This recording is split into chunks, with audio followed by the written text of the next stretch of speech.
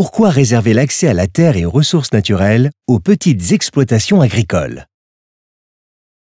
Depuis plusieurs années, des investisseurs privés prennent le contrôle d'importantes surfaces de terre pour créer de grandes exploitations agricoles, principalement dans les pays du Sud. Ces projets sont soutenus par les gouvernements qui leur réservent souvent les terres les plus fertiles et les mieux situées, proches des infrastructures par exemple.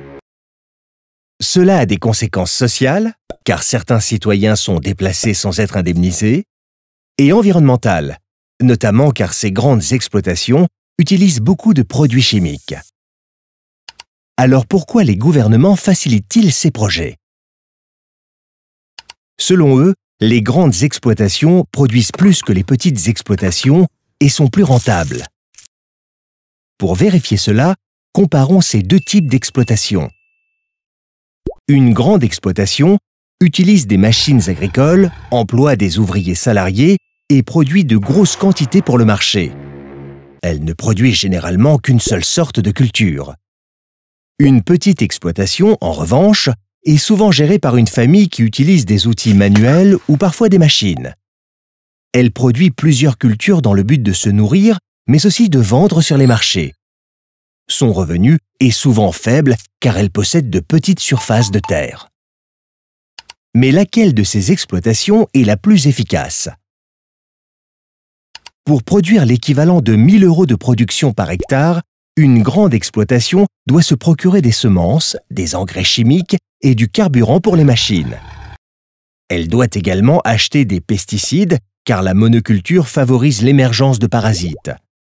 Sur les 1000 euros, il ne reste donc plus que 300 euros environ. Prenons maintenant l'exemple d'une petite exploitation. Elle a un rendement souvent plus faible par hectare, par exemple l'équivalent de 800 euros de production, mais elle récupère des semences grâce à ses cultures, utilise du fumier en guise d'engrais et achète peu de carburant.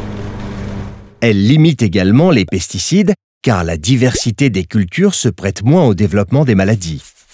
Sur les 800 euros, il reste 600 euros. Ainsi, les petites exploitations agricoles produisent plus de valeur par hectare. Au nombre de 500 millions dans le monde, elles représentent plus de trois quarts de la production agricole. Alors pourquoi les grandes exploitations paraissent-elles plus rentables? Parce que les investisseurs ont accès à de très grandes surfaces presque gratuitement, qu'ils payent généralement peu leurs ouvriers et ne payent pas ou très peu d'impôts ou de taxes. L'accès à la terre et à l'eau, mais aussi au crédit et au soutien public, doit donc être réservé en priorité aux petites exploitations partout dans le monde.